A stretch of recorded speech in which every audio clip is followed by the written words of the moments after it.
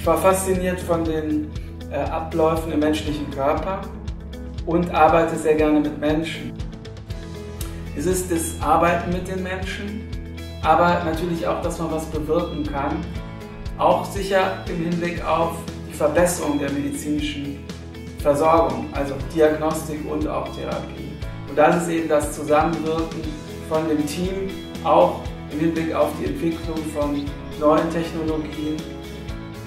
Ich denke aber, wir kommen weg von dem einfachen Betrachten eines Geräts und dann, sagen wir der Zyklus nach fünf Jahren oder zehn Jahren neues Gerät, sondern dass wir Pakete schnüren, in denen wir Entwicklungen auch über die Jahre nachvollziehen, dass es Updates, Upgrades gibt, dass vielleicht auch ein technischer Teilersatz stattfindet, dass wir sagen können, okay, für zehn Jahre wollen wir das jetzt sicherstellen.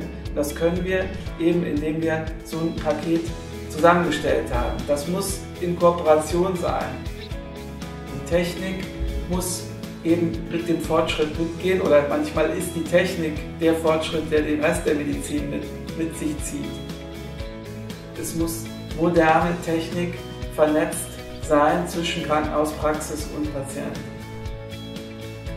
Ich sage mal voraus, dass in den nächsten fünf bis zehn Jahren über 90 Prozent der Therapien, die eine invasive Komponente haben, bildgesteuert stattfinden werden und zum Teil auch mit technischen Hilfsmitteln, beispielsweise Robotern. Das ist die Entwicklung und das ist so wichtig für unser Fach.